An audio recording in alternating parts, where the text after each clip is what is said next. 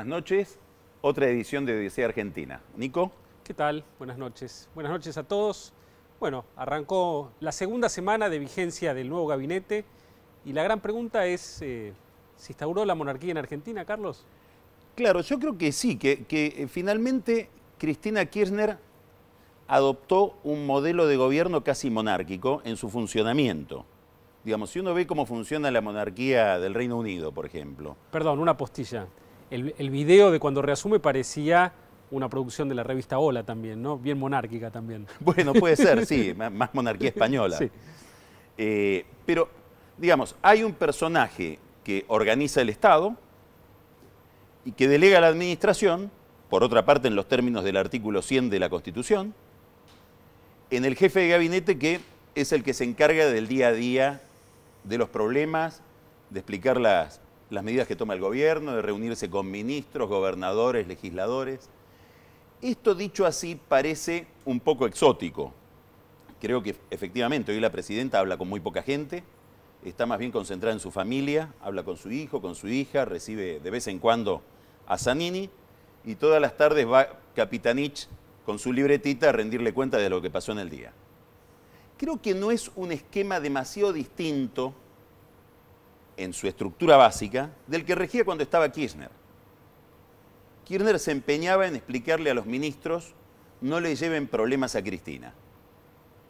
Y la parte más pesada de la administración, que es muy poco placentera, que alimenta muy poco el narcisismo, que es que no se te escape tal paritaria que puedas encuadrar a tal legislador. Sí, si le prestas 300 mil pesos a Verazatei. Claro, eso se encargaba Kirchner, que solía tener en Olivos hasta cinco reuniones simultáneas. Bueno, ese papel ahora cae, por supuesto, con la enorme distancia que hay entre Capitanich y Néstor Kirchner en el lugar que ocupan en la vida y en el gobierno de la presidenta y, en el, y en el esquema de poder de Cristina, pasa a estar en Capitanich, que hasta ahora es un hiperkinético que copia un poco el modelo de otros antecesores, no solamente en la jefatura de gabinete, yo recuerdo, por ejemplo, un poco la, gestión a Tanasov, que también hablaba todas las mañanas, Korach hablaba todas las mañanas, Korach anda diciendo por ahí que quiere pedirle el copyright a esto de la conferencia de prensa de, los mobileros temprano, de tal manera que él lo que pretende es dominar la agenda periodística,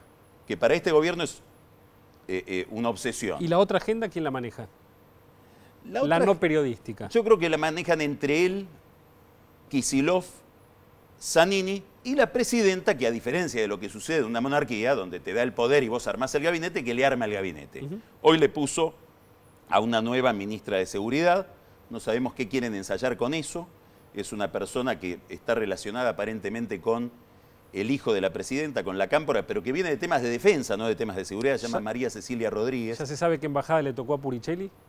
No, lo que estamos tratando de saber es qué embajada le va a tocar a Timerman, porque también en el cuello de Timerman empieza a haber una marca debido a algunas prestaciones deficientes del canciller en algunos conflictos internacionales. ¿El alicate estaba desafilado? Parece que aplicó el alicate en una relación en la que la presidenta no quiere aplicarla, que es la relación con Israel.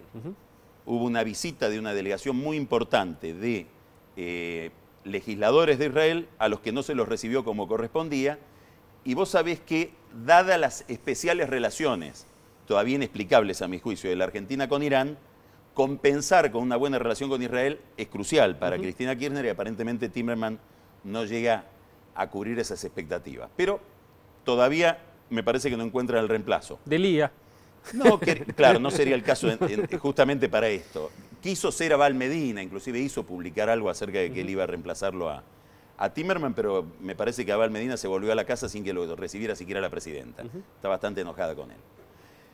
Dentro de este nuevo esquema de poder o de administración, donde, insisto, me parece que hay más anuncios que efectividades por parte de Capitanich, la gran incógnita es qué quiere hacer Kisilov o qué ha hecho Kisilov en todos estos días. Bueno, Kisilov hizo cosas y no hizo cosas ambas son importantes.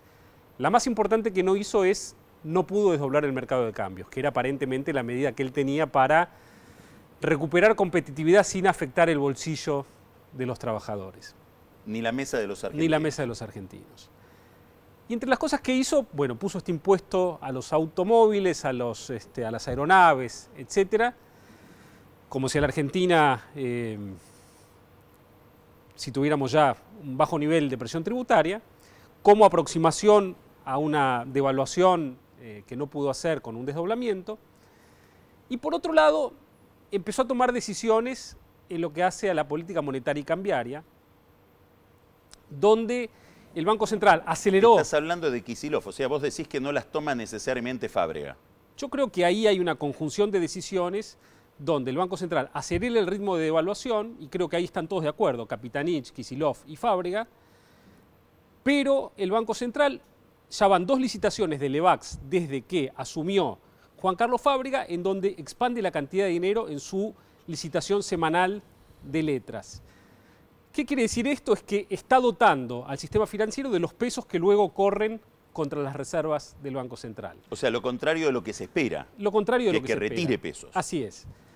Es muy difícil que las reservas paren de caer cuando las tasas de interés en pesos que reciben los ahorristas son 19% que comparan contra una inflación de 27 y una devaluación que era del 30 anual y que ahora está en un ritmo anualizado mucho más alto. No hay motivos para que los ahorristas sigan teniendo pesos y no traten de atacar las reservas de alguna manera o de otra. Entonces hay una inconsistencia en la política monetaria que hace que las reservas sigan cayendo y la respuesta para eso de la gestión Kisitanich, digamos, es, bueno, ya que las reservas siguen cayendo, trato de reponerlas por otra vía. Y de ahí, no evito la caída. No evito la caída. Busco más reservas para que se las sigan llevando. Es decir, abro el tapón de la bañadera, no conseguí un tapón en la ferretería, este, entonces abro la canilla y me baño con el tapón abierto y la canilla abierta. Digamos, una solución no tan eficiente, porque al final lo que me va a quedar es más deuda. Eh, y para lograr que se abra la canilla, el gobierno recurre a esta agenda de normalización financiera que eventualmente... ¿Qué es la agenda de normalización bueno, financiera? Bueno, digamos, uno podría empalmar las deudas con el CIADI, que ya son de la gestión anterior, un probable, una probable revisión de las cuentas argentinas por el Fondo Monetario en el marco del artículo cuarto, la normalización del INDEC y... Bueno, pero todo eso, ¿y los dólares de dónde vienen? Bueno, si todo esto me permite sentarme en la mesa para cerrar eh, un acuerdo con el Club de París, por ejemplo, por ejemplo, habiéndole pagado a Repsol eh, el dinero que la Argentina le debía y que era una condición puesta por España para permitir un acuerdo. mil millones de dólares. Así es. Eventualmente se reabriría algún grifo del Banco Mundial, de préstamos bilaterales, eh, de los bancos que financian la importación de bienes de capital de la Argentina, financiados por los gobiernos. A su vez le están pidiendo a IPF que, se endeude. Así es. Ahí vendrían reservas. Así es. Vendrían dólares. Así es. Lo que pasa es que el tamaño de esta solución, primero va a demorar un acuerdo con el Club de París, una vez que Argentina complete los pasos previos que necesita para sentarse a negociar, va a sentarse dentro de algunos meses, va a llegar a un acuerdo probablemente en la segunda mitad del 2014, en el mejor de los casos. Si es que Argentina no se aburre de todo esto antes, porque el gobierno este se aburre rápido de las cosas este, dificultosas. Eh, y entonces, entonces, eventualmente, eventualmente, si todo esto es exitoso, en algún momento de 2014 fluirán algunos dólares, pero probablemente tarde, de manera tardía e insuficiente. A su vez están negociando créditos con China. Sí, están negociando créditos con China que aparentemente no son tan eh, blandos como eh, lo que la mayor parte de la gente supone y el gobierno supone, ¿no es cierto? Ellos están pidiendo, Kisilov está pidiéndole a China por lo menos 4.500 millones de dólares al Banco Popular, al Banco eh, de Desarrollo de China. No, no son blandos. Si uno mira lo que está pasando en, en Ecuador, ha habido ahora una investigación de, Reuters, muy interesante, que fue publicada por varios diarios, yo la leí en el Corriere de la Sera, muy completa, donde aparece ahí que a cambio de prestarle dinero, creo que 3 mil millones de dólares a Ecuador, China se quedó con el 83% de la producción de petróleo de Ecuador. Es decir... Para que Correa pueda seguir diciendo que estos son gobiernos donde eh, no entramos en relaciones de dependencia porque decide la gente. Te lo pongo de manera inversa. Las retenciones a la exportación que le cobra Ecuador a China por exportar petróleo son nada más que del 17%. Exactamente. Contra 35% de la soja y mucho más en el caso del petróleo. El petróleo que, se lleva a China, que se lleva a Petrochina, se lo vende a Chevron, que dicho sea de paso tiene un, juicio por 9 mil millones de dólares en Ecuador, para que Chevron pueda refinar ese petróleo en sus refinerías de Estados Unidos y a su vez hacer trading con el combustible. Eh, estas son las condiciones que ponen los chinos para prestarte la plata. No sé quién es más duro, si China o JP Morgan para la mirada de gobiernos que dicen no, con el mercado no. El gobierno no se enteró que, por ejemplo, el FMI desde algunos años se volvió heterodoxo y contracíclico, ¿no? Eh, y es una mano probablemente mucho más blanda que la mano de los chinos a la hora de, otorgar financiamiento. Pero para eso a la Argentina le faltaría derribar algunos muros este, ideológicos muy grandes y una agenda así de normalización también muy importante. Bueno, estos son los temas que eh, nos inspira el, cambio de, esquema de gobierno, la reconfiguración del gabinete que ha hecho la presidenta. Ahora vamos a hablar con José Pampuro, con Pepe Pampuro, es un hombre muy experimentado en la vida política. Lo vamos a consultar sobre estos temas y sobre otros temas eh, sobre los que él va a tener seguramente una opinión inteligente. Después vamos a hablar con eh, Alieto Guadañi sobre el acuerdo con Repsol y algunos temas de política internacional que están íntimamente ligados a la vida económica del país. Y después, como siempre, los tweets, el Museo de la Década Ganada, el ojo de la cerradura, de la cerradura por el que mira Carola Gil y los demás temas de Odisea. Vamos a ver a Pepe Mampuro. Pepe.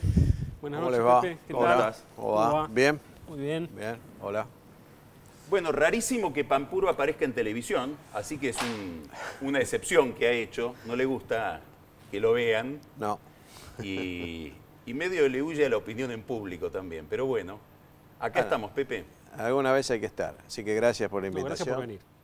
¿Qué impresión te causa esta nueva Cristina?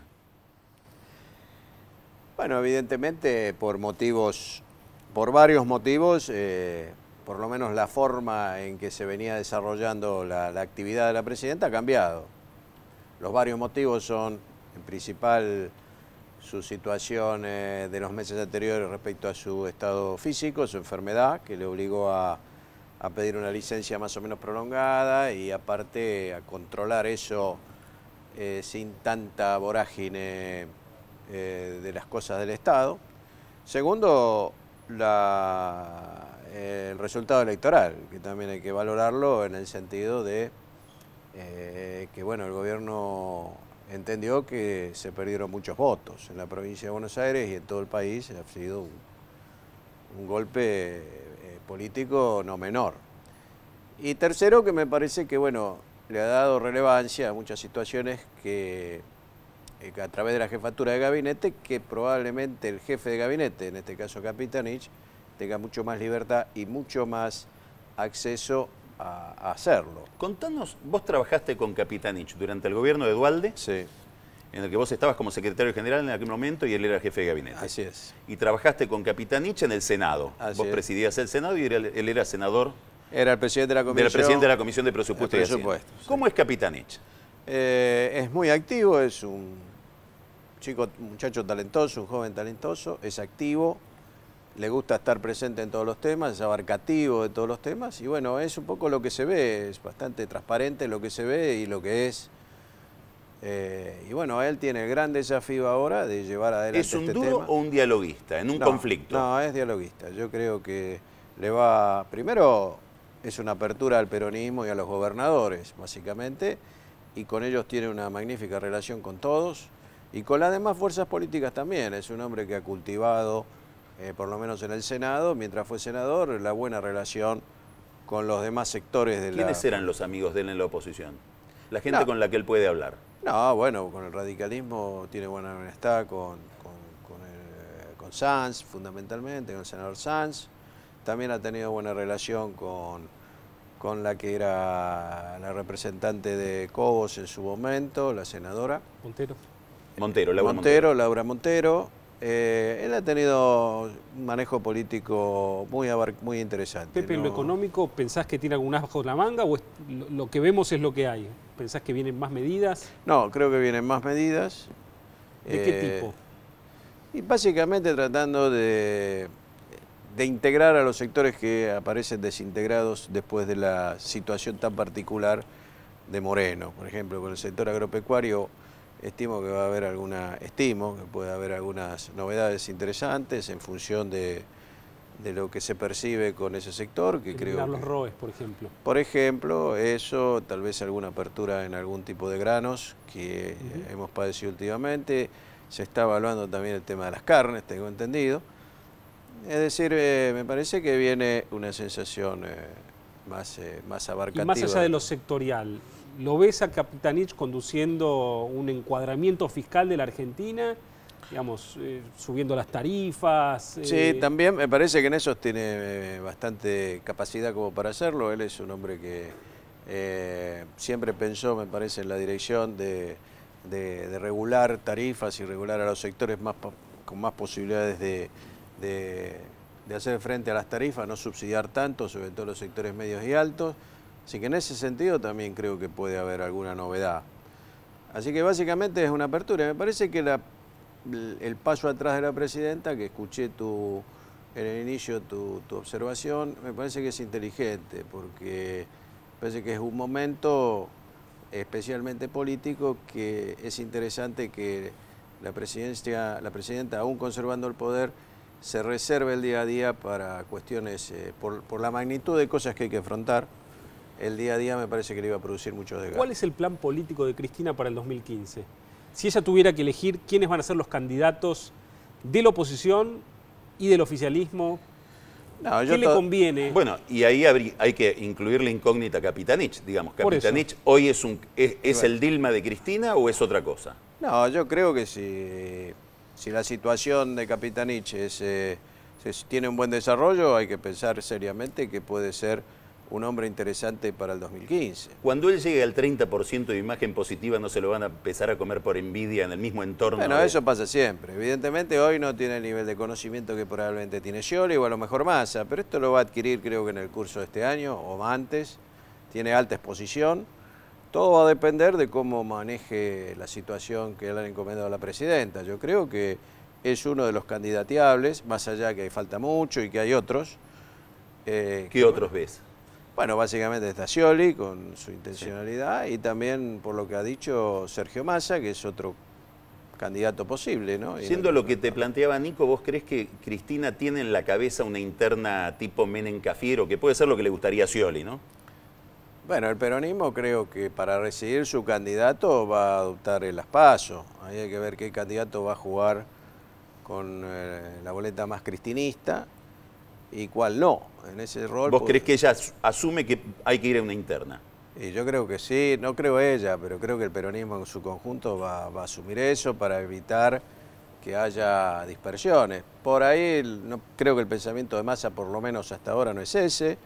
Parece que Massa está armando un perfil más eh, transversal, tanto como lo armó Kirchner en su momento, con sectores del radicalismo Sí. de la provincia, con sectores de, de llegados a macrismo.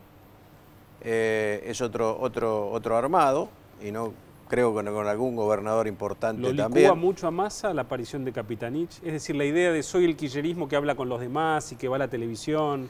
Yo creo que no, porque él ha adoptado una posición más confrontativa. Me parece que... El problema es para Scioli, ¿no? ¿Qué consejo le darías hoy a Scioli ante la aparición de Capitanich?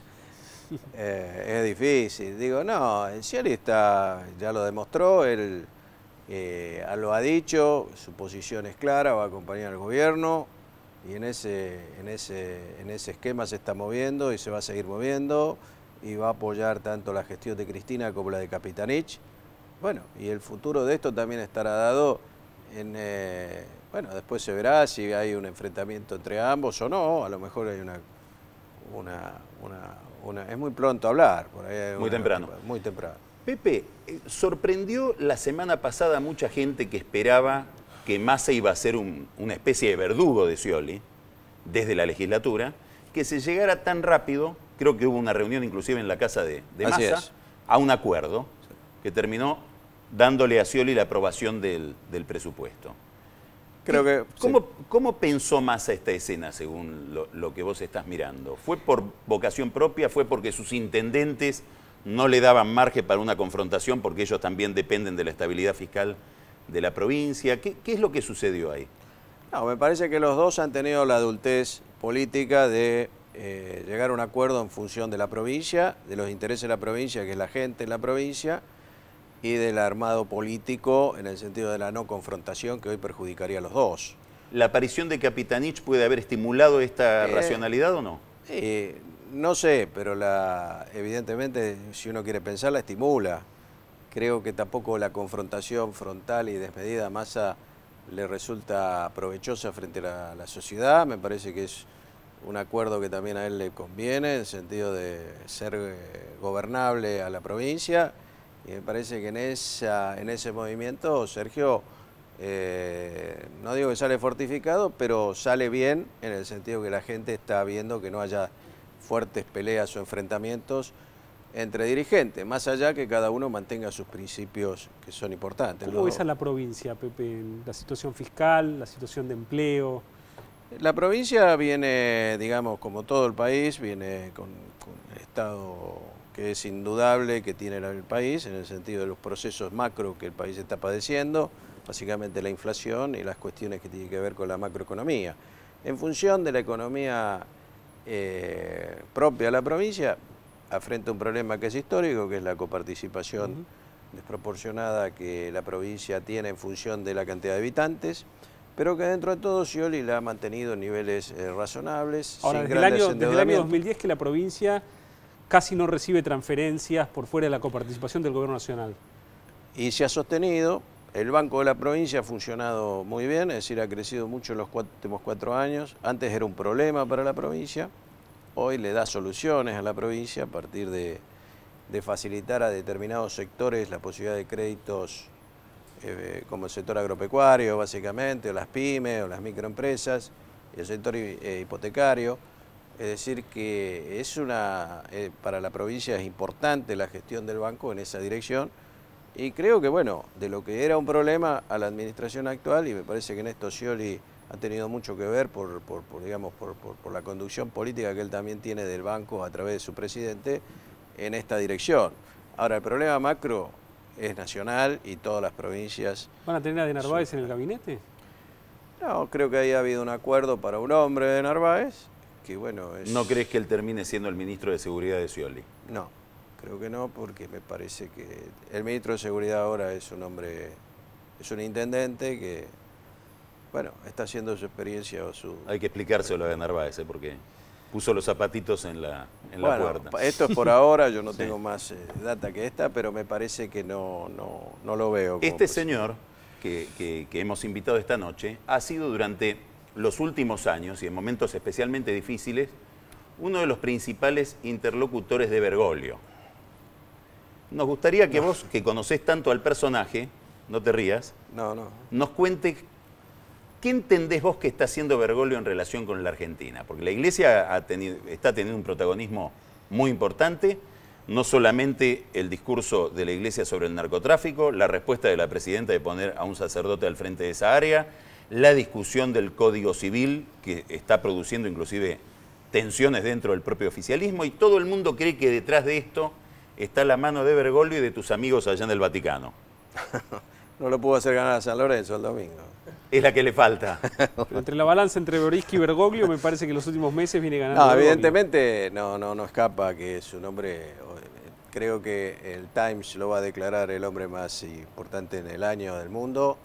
Evidentemente nadie puede dejar de, reconocer o de ver en él eh, un dirigente más allá de lo, de lo espiritual. ¿Qué te sorprende de lo que ves hoy en Bergoglio como papa que no veías en Bergoglio cardenal? ¿Es el mismo personaje? ¿Es otra persona? No, es el mismo personaje. No, Bergoglio siempre fue un hombre muy interesado por la parte política, entendiendo la política no como política partidaria, sino compromiso político. Él tiene una formación eh, jesuítica eh, muy profunda en su espíritu, se, introduce en los un poco temas... peronista también. Bueno, se introduce en los temas con mucha fuerza, la pobreza, el narcotráfico, la prostitución, la familia. Eh, y ese compromiso lo lleva adelante, lo ha llevado adelante a la Argentina y lo va a llevar en el papado también. Es decir, eh, hay que ver cuánto resiste Roma esto, pero eh, uno que lo conoce sabe que lo va a hacer, lo está haciendo con Irán. Habla con la presidenta más de lo que se supone, me dicen. desconozco, pero tiene interlocutores importantes. ¿Pensás que ha habido algún cambio en la relación eh, con el gobierno más allá de lo que se ha visto en, la superficie? Es decir, que hay una influencia en este nuevo diseño que tiene... Sí, yo estoy convencido.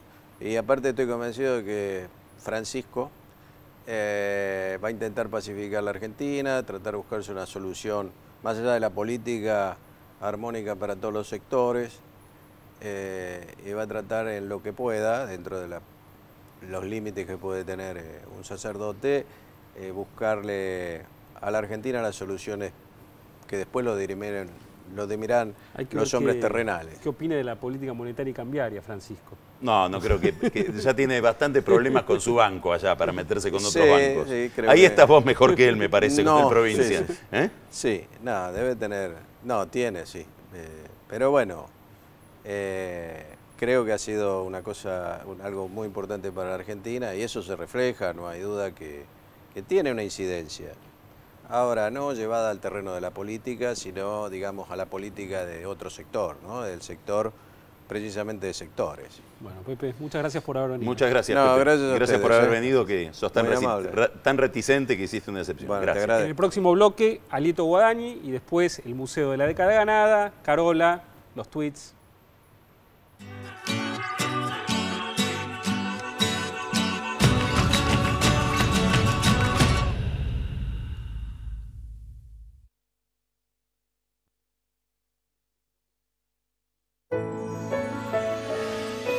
Mundo necesita compartir más momentos mágicos.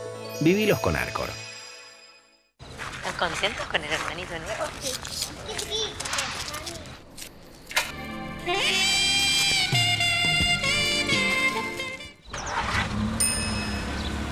Gran Siena. Hay lugar para todos. Como las flores de azaré tu amor perfuma mi vida. La sal de los mares.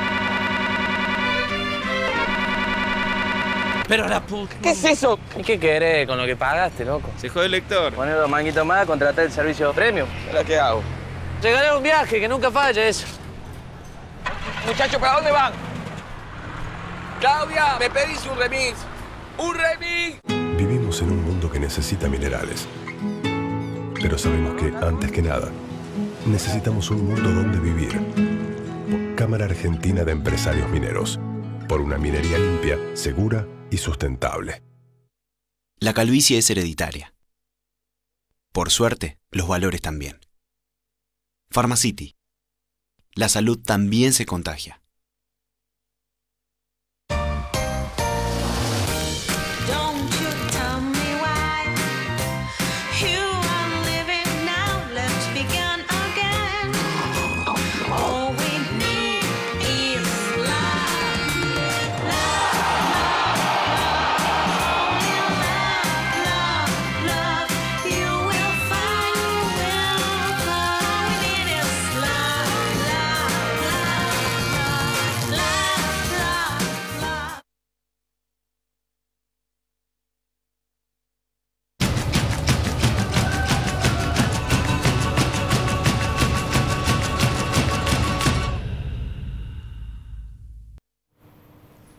Bueno, Alito Guadani usted lo va a escuchar eh, opinando sobre educación, sobre economía internacional, sobre energía. Nosotros le vamos a preguntar sobre todos los temas, pero evidentemente en la semana que ha pasado hubo muchas noticias concernientes al sector petrolero de la Argentina, especialmente el acuerdo entre eh, la Argentina y Repsol para compensar la, estatización de las acciones eh, que tenía Repsol en IPF. La pregunta para Alieto es, Alieto, ¿esto cambia en algo el panorama eh, energético que tiene la Argentina en el corto, en el mediano y en el largo plazo? Bueno, para contestar esa pregunta hay que hacer una breve introducción. Eh, todo el mundo dice que Argentina tiene el segundo recurso del gas no convencional del mundo, pero es apenas el 11%. Estados Unidos tiene el 15%, Argelia tiene el 10%, perdón, China tiene el 15%, Argelia tiene el 10%, Estados Unidos tiene el 9% y Canadá tiene el 8%. Para que entendamos qué está pasando con IPF hay que entender que todos estos países están en una carrera acelerada. ¿Por qué? El primero que desarrolle y explote estos recursos se lleva toda la renta a él porque a partir del aumento de la producción de estos países exitosos va a caer el precio internacional. ¿Estamos hablando de petróleo o de gas no convencional? De gas, de, gas. Porque la matriz energética argentina tiene nombre y apellido, es gas. El 51, Argentina es el país más gasificado del mundo. 51 por, de cada 100 unidades de energía, 51 es gas. Entonces la Argentina entra a esta carrera con muchos recursos, pero entra tarde. Entra tarde porque lamentablemente la política energética implementada de hace 10 años desaprovechó todo esto y descapitalizó al sector. Piense usted que cuando asumió debido se producía 40% más de petróleo que ahora y 25% más de gas. Entonces, en esta visión estratégica hay que entender que hay un hombre, yo considero sensato, Galucho, que ha dicho, bueno, hagamos algo para movilizar los cuantiosos recursos financieros que necesitamos para poner en valor estos estos recursos no convencionales. Y entonces a la luz de esta necesidad imperiosa se entiende esta negociación. Alieto, contale a la audiencia eh, qué está pasando con eh, el gas no convencional en los Estados Unidos.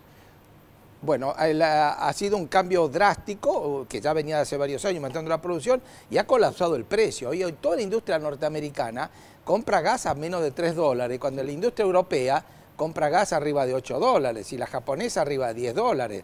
Hay un, hay un vuelco en la competitividad industrial de Estados Unidos. Hay empresas petroquímicas que se están cerrando en algunos países, en Chile por ejemplo, y se están eh, yendo a Estados Unidos.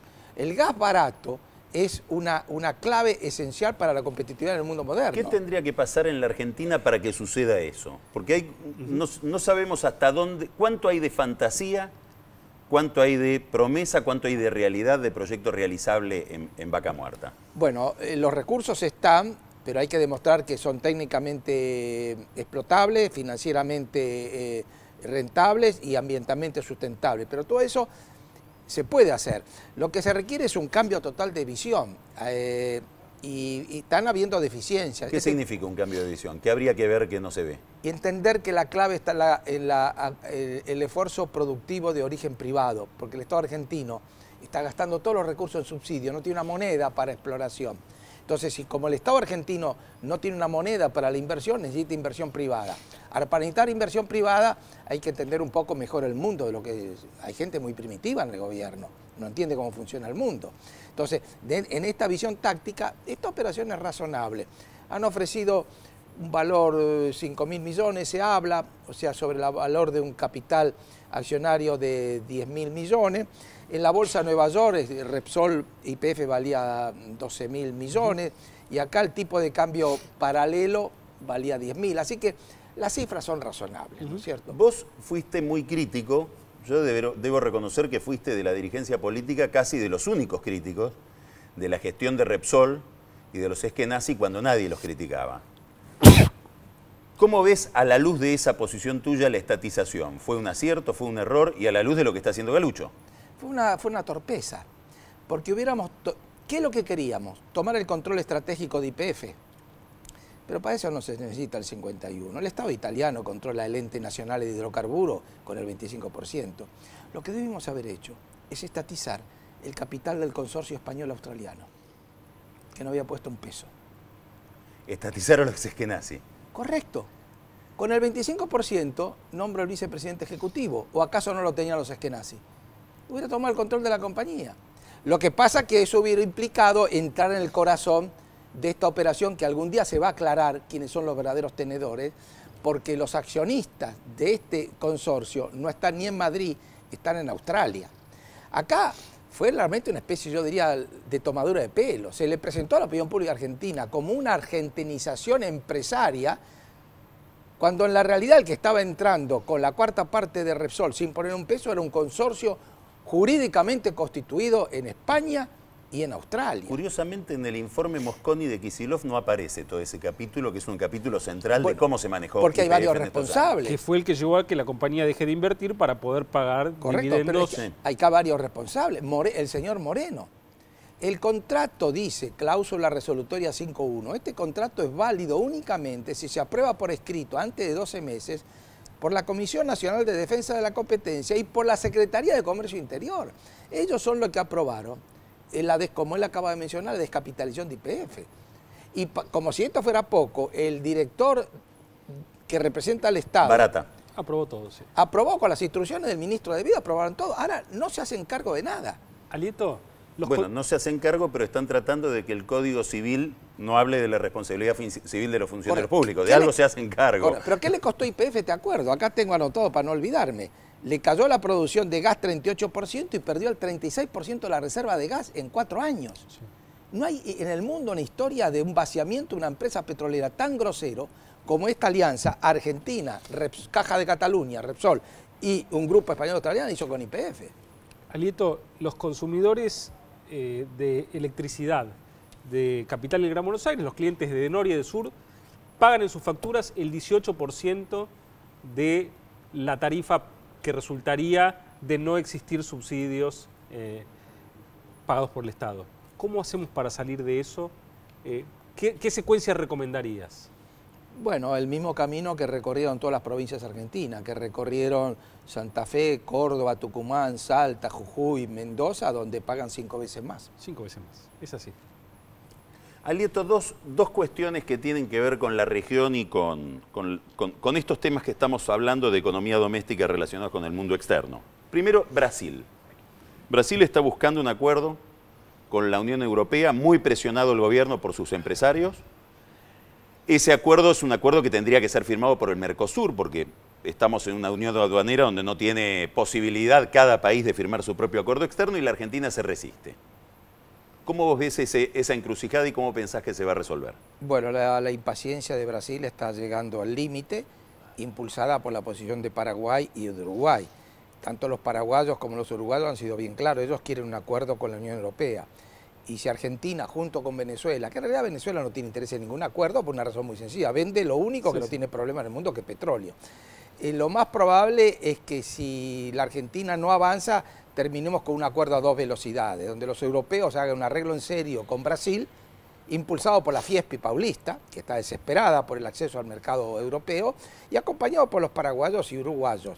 Y bueno, eso es el final del Mercosur, técnicamente hablando. Es que el Mercosur murió cuando se pusieron derechos de exportación al interno del Mercosur. Son impuestos absolutamente ilegales, violan expresamente... Moreno de nuevo. No, no fue Moreno, no, no, no, fue, fue el gobierno nacional, los derechos de exportación. Eh, porque eso viola claramente el Tratado de Asunción y el protocolo de Europreto.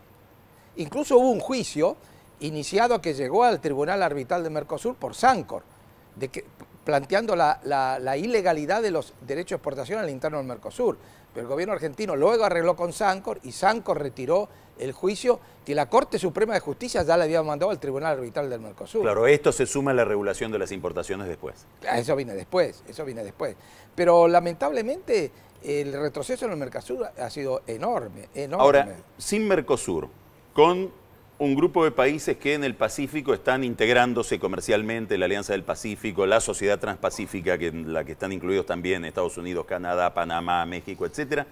¿Cómo ves el juego de la Argentina y qué harías vos si fueras el, ministro de Relaciones Exteriores o de Relaciones Comerciales de la Argentina, que ya lo fuiste, eh, a partir del 2015? Bueno, el escenario no es tan dramático porque bastaría con, una visión clara de lo que es el mundo, entender que vivimos lo que se llama la onda larga de Contreatriev, la revolución de los alimentos y las proteínas animales, Argentina volvería a, plantearse su estrategia exportadora y claramente por el otro lado se arreglaría artículo cuarto, Club de París, como se mencionó hace acá hace un rato, y volveríamos a, a esta era de prosperidad. Escúcheme una cosa, dos cosas.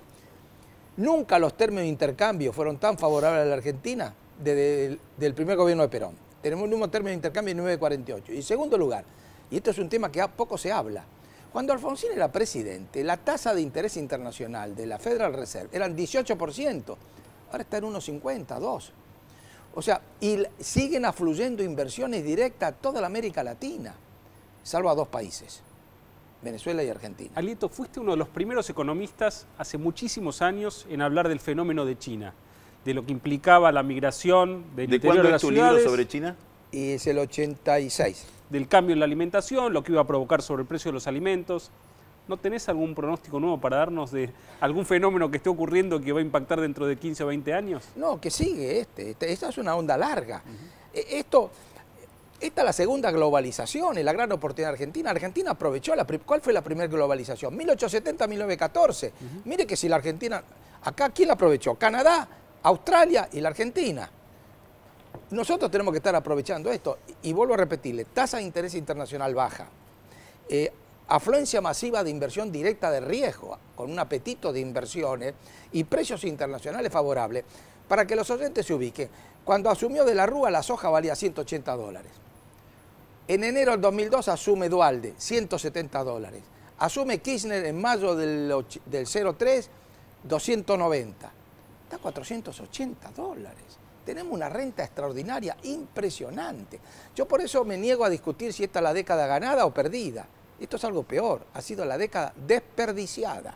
Porque nunca tuvimos, desde la Segunda Guerra Mundial, que la primera ola que aprovecha Perón, 47, 48, nunca hubo un contexto internacional. Y además hay gente del gobierno que no entiende lo que pasa. Dice, el mundo se nos cae encima. No, los que se caen encima son dos o tres países europeos que no mueven el amperímetro. ¿Cómo evaluás al resto de la clase política en relación con esta percepción? No, yo creo que ellos tienen, eh, hay, hay, eh, muchos técnicos en diversos partidos políticos que tienen, la tienen clara, tanto en el nuevo peronismo, trato en la, en la alianza, llamémosle de centro izquierda, en la propia derecha, hay, hay mucha gente que sabe sumar y restar, porque tener una visión del mundo realista no es un problema de ideología, es un problema de De saber información. de información, cómo son los términos de intercambio. Hay 4.500 millones de personas que decidieron comer proteínas animales. Eso no es un hecho ideológico. Alieto, ¿cómo ves los próximos dos años? ¿Ves al gobierno pudiendo cambiar lo suficiente para evitar una nueva crisis como las que tiene la Argentina cada 10 años? ¿No lo ves cambiando lo suficiente? ¿Cómo te imaginas? Eh, ha- hay algo, yo en, las últimas, en la última semana eh, eh, he pensado que se está alejando el riesgo de un colapso, de una locura. Me parece que todo lo que se está haciendo, uno puede criticar muchas cosas, pero eh, no van en, la ru- en el rumbo de una radicalización absurda, primitiva. O sea, que esto hay que dejarlo de lado. Entonces, en este escenario, si uno tuviera que hacer un pronóstico, diría leve, leve crecimiento económico, entre 0 y 2%, estancamiento del empleo, ya van dos años de estancamiento del empleo, eh, presiones inflacionarias muy fuertes, y esto va a originar un conflicto político grande, porque el gobierno lo que quiere es bajar los salarios en dólares, y para eso devalúa fuertemente. El gran problema es que si no controla la inflación va a terminar ja- bajando los salarios en pesos, y eso sabemos bien que eso origina una cantidad de conflictos de carácter social, ¿no? Bueno, Alieto, muchas gracias por haber estado. Un placer escucharte. Gracias. Próximo bloque, los tweets, Carola, enseguida nos vemos.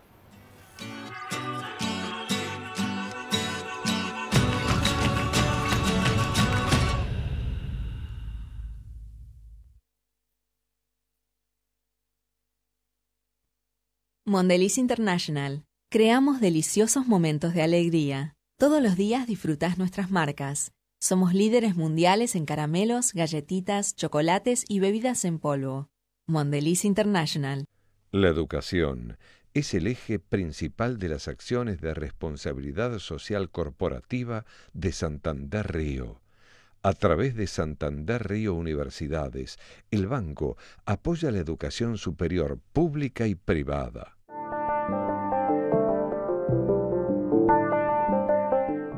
...140 años con una visión muy clara... ...ser el banco de todos los cordobeses.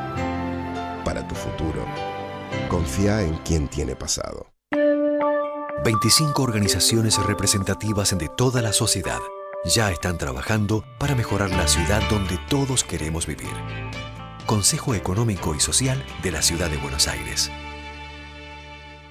¿Un instrumento? La guitarra. ¿Mermelada favorita? Rosa mosqueta. ¿Una prenda de mujer? Tanguita. Moscardelli, ¿probó con Quiniela Plus? Con Quiniela Plus tenés un pozo mínimo asegurado de un millón de pesos y podés ganar con 8, 7, 6 y 5 aciertos. Lotería de la provincia. Agricultura Consciente, una propuesta de Nidera pensando en tu futuro. Nidera. Programa Becas de Integración, BBVA Francés, séptima edición, por un futuro mejor para todos. Adelante.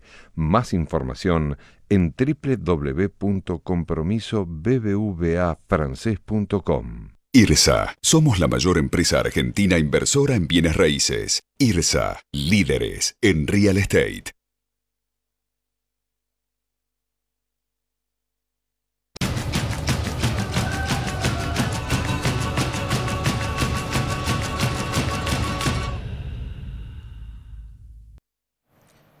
Tenemos una pieza nueva para incorporar al acervo del Museo de la Década Ganada. En este caso se trata de... Es el afiche o el, retrato que no quiso eh, retener Capitanich de todos los retratos que tenía en su oficina Juan Manuel Abal Medina antes de partir. No sabemos hacia dónde porque no sabemos dónde está ahora. Pero eh, digamos, hubo que descolgar este retrato que es tan emotivo y tan significativo para el kirchnerismo, que es la fuerza del amor. ¿Lo descolgó quién? Lo descolgó Capitanich. Capitanich. No mandó a eh, nadie. Néstor y Cristina abrazados en un acto público. Ella un emblema, la imagen. Emblema que no adorna las paredes de la jefatura de gabinete en la nueva gestión. Creo que fue reemplazado, como en aquel video famoso de Capitanich, por algunos eh, rosarios que ahora decoran. Hay mucha imaginaría religiosa. Muy bien. Y eh, top 5, esta vez con 5. Bueno. Es decir, volvemos a hacer coincidir la realidad con la matemática. Tenemos un Kisilov falso, que es un falso, falso? Eh, un falso Kisilov en Twitter. o sea, ah. eh, que nos dice que Repsol podrá volver a explotar vaca muerta siempre y cuando se pongan bigote y sombrero mexicano. Claro. Ahora que son Pemex, es así. vuelven. Yo creo que tenemos que seguir, en la medida en que él lo permita, con esta serie de la sabiduría oriental de Franco Macri, que sigue apretando con su tweet. Por favor, no frenes, no frenes, Franco. Recuerden, cuando fundé Macri Group, mi relación con China se estrechó notablemente. ¿Puedes decirlo con acento o no? No me sale también. Eh, no. pude vencer algunas barreras en Latinoamérica. Sigo intentando. Sigo intentando. Te salió medio un cristiano Ratazzi más que un franco. Sí, Franco es más del sur, es romano, el cristiano es eh, piamontés. Bueno, tenemos a, eh, un tuit enviado desde bajo tierra, desde el refugio de la cultura, sí. de Osvaldo Quiroga, que nos dice que confieso que el nivel de agresión que hay en Twitter es repugnante. Porque si él no lo confiesa, uno no se entera. Cuánto mediocre aburrido que no sabe qué hacer con su vida. Lamentable. No, es agresivo. no, es agresivo. Gabriel Sánchez, economista. A Corea un par de décadas de sustitución de importaciones le alcanzaron para desarrollar Samsung, Kia, Hyundai. ¿Dónde se, desvió el rumbo del rastrojero diésel? Muy bueno. ¿Cuándo lo perdimos? ¿Cuándo lo perdimos? Bueno. Y ahora está colosal. Y acá tenemos el tuit de la semana, en mi opinión, que es un tuit de María José Lubertino, cuenta verificada. Porque hay No sé si sigue al mando de, a cargo del INADI. Eh, Ella misma es un INADI en sí misma. Es así, pero eh, manda un tuit que dice ahora en cena de mujeres peruanas. Es un grupo de, música, porque las dos veces está con mayúscula. Sí. Ahora, ¿por qué no en cena de mujeres? De mujeres, no, pues son peruanas. O en cena, porque si no discriminas, digamos, ¿cuál es la diferencia en que sea con mujeres, hombres, mixtas? Sin duda. ¿No? Eso es lo que hace curioso el tuit. Bueno. Bueno, vamos a ver a Carola. Vamos a ver a Carola en su cuenta verificada. ¿Cómo estás, Carola? ¿Cómo andan? Muy bien. ¿Trajiste el whiskycito como siempre? Traje el whiskycito, sí. Venía diciendo que cada vez que brindamos, la que aparece siempre en la toma soy yo. Bueno, es que sos la que toma. bueno. ¿Por qué vamos a aparecer nosotros? Salud. Polémico whisky, como nos han dicho. Es polémico, pero vamos a seguir por ahora. Probablemente con los vasos que nos va a mandar el coronel Gonorrea en algún momento si cumple con sus promesas, pero por ahora seguimos con los Macri, El reemplazo de, cristal estamos esperando, Tus relaciones con China. Del Macri Group. Del Macri Group. Sí, sí, muy bueno los Group. eh. Group. Group. El Muy Mac- bien. Macri Group. Group. ¿Qué Eh, anduvo pasando, Carola? Tengo, tengo varios, tengo algunos de- de- de- del fin de semana.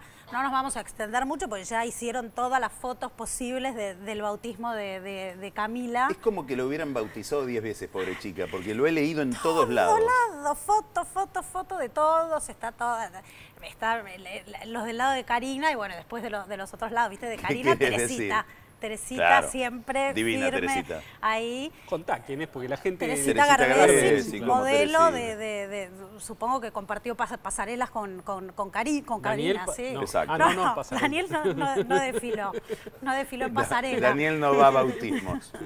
Parece que llegó tarde. Él que es tan puntual, este llegó tarde al, al evento y el evento arrancó sin él. Qué raro. Sí, porque rarísimo, Mirá que es porque- ansioso y llega siempre. Se Sí. quedó escuchando Pimpinela en la casa. Puede ser. Con fe, con fuerza en y con esperanza. Era en Con Luján. esperanza. Y con optimismo. Pero lle- llegó Montaner tarde. no, ¿eh? Montaner no porque hubo problemas ahí. ¿De dinero? Sí. De honorarios. Lo quisieron especificar. Terminó pagando un tercero, pobrecito, le dijeron, hacete cargo de este, de este muerto. Sigamos. Qué bueno cuando me complementa los chismes así, me encanta. Así que bueno, llegó tarde, así que todo arrancó sin, sin él, pero después estuvo ahí y hasta bendición papal. Sí, bueno. Sí, bendición papal. ¿Viste? Al que madruga Dios le ayuda y si no lo ayuda le manda una bendición papal. Daniel por tiene lo una menos. relación con Bergoglio casi tan intensa como la que Casi. describimos hoy de, de Pampuro. Casi. Después, después tengo al- algún chisme vaticanista, pero me retiro con, con- con- el olor incienso. Ah, sí, sí, sí, lo, lo dejo para el final, porque en el, en el medio tengo, tengo otras cosas. sí, sí, sí. Así que ahí estaba Scioli Chocho, ya en un partido en, eh, había hecho así la típica demostración futbolística, ¿viste? De levantarse la remera que decía abuelo, ¿viste?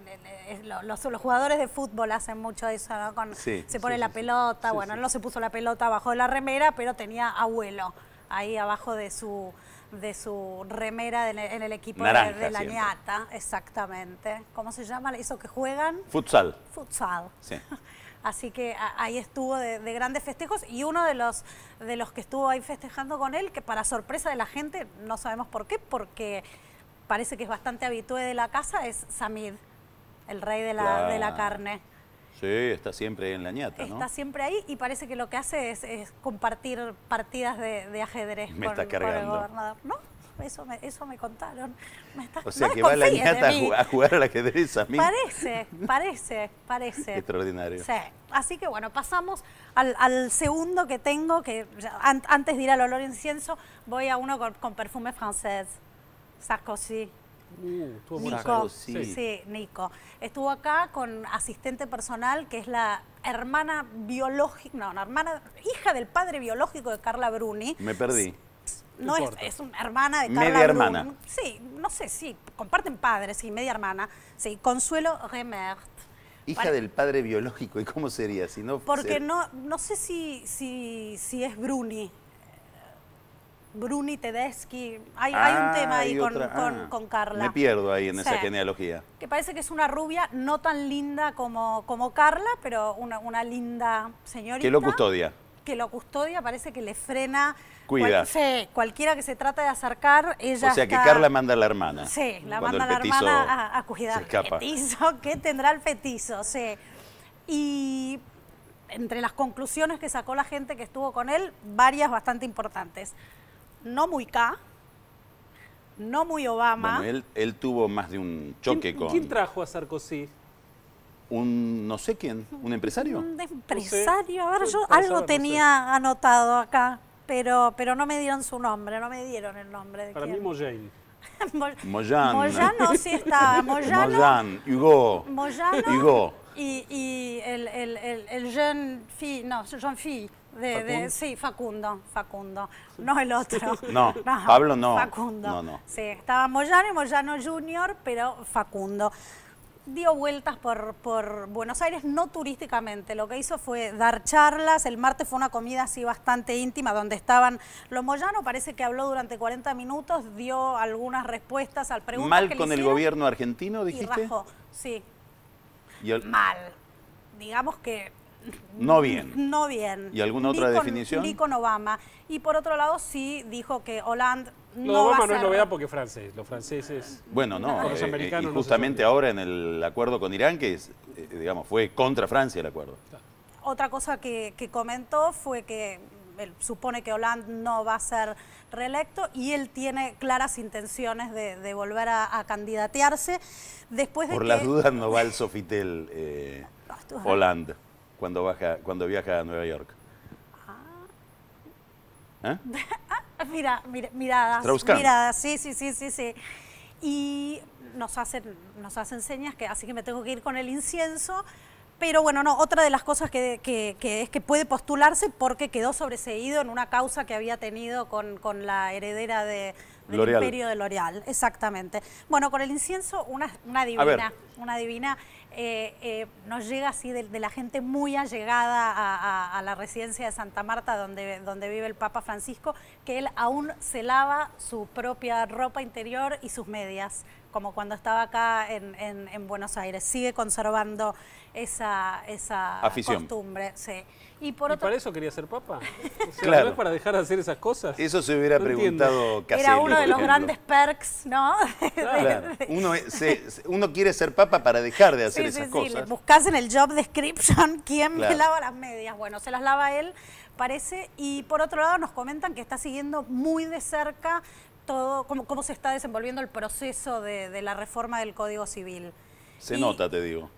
Y en algún lugar percibe que se está escuchando su voz. Más que escuchando, me parece que mandó el original, ¿no? El, el código Francisco lo Sí, llaman. sí.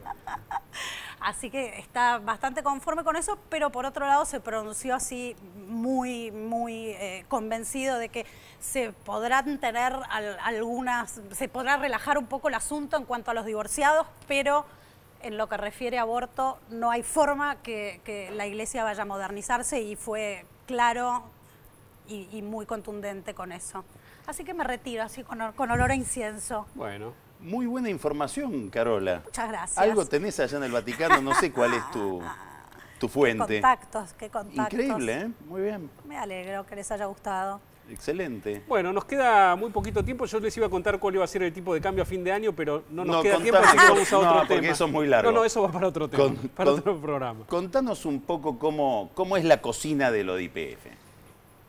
La Argentina le va a pagar con bonos a Repsol por la compensación en un monto tal que el valor de mercado de esos bonos sea 5 mil millones de dólares. Es decir, Argentina tendrá que emitir 6.000 o 6.500 dependiendo del valor que tengan esos bonos en el mercado, porque Repsol no tiene muchas intenciones de quedárselos, los va a vender. Ah, Entonces el Deutsche Bank, que es el banco contratado para estructurar la operación, está llamando no a Repsol para ver cómo quiere los bonos, sino a los compradores finales, a los que Repsol ¿Cómo le va a tener que que, te lo haga? Porque vos Exacto. vas a terminar siendo el a- dueño. vos vas a terminar siendo el dueño. En esa conversación lo que se discute es si los bonos van a ser ley local o ley inglesa. Si fueran ley americana eso llevaría mucho tiempo para su estructuración. Están en eso la discusión. Es bastante interesante. Van a ser bonos a 10 años con un, rendimiento de más o menos 9% y esa operación está en curso y este, perfeccionándose.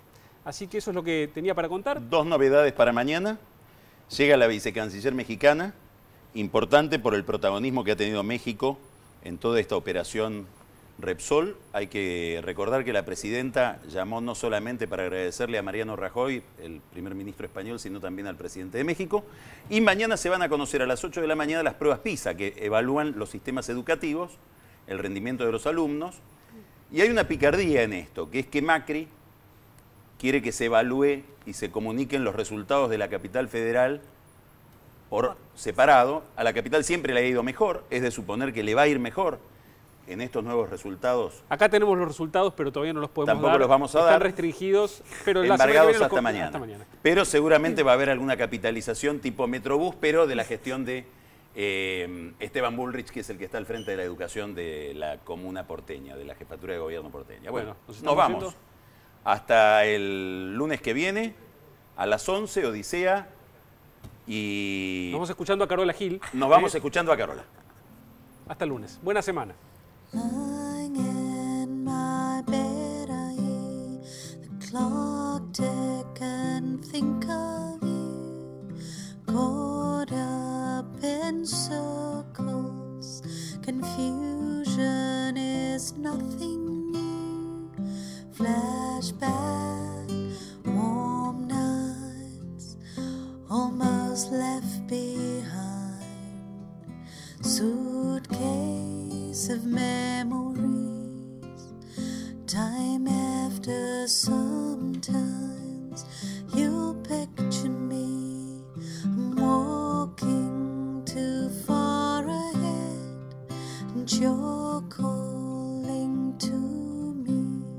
I can't hear what you say and you say go slow fall behind. The second hand unwinds. If you're lost you can look and you will find me. Time after time. If you fall I will catch you. I'll be waiting. Time